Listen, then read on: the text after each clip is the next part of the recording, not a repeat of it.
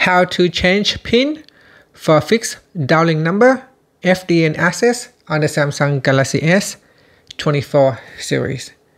First tap on the home button to return back to the home screen. On the home screen, open up the phone app. Then in here, tap on the more button at the top. From the pop menu, tap on settings. In the code settings page, we then scroll down and tap on supplementary services.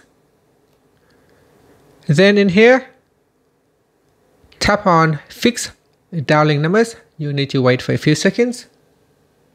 Now tap on it and then tap on change pin 2. First we need to enter in the old pin which is 40 for me. Then tap on OK. Next put in the new pin. Then tap on OK. Put in the same new pin again to confirm and then tap on OK. And that's it. So now I have successfully changed the pin for fixed dialing numbers on the Samsung Galaxy S24 series.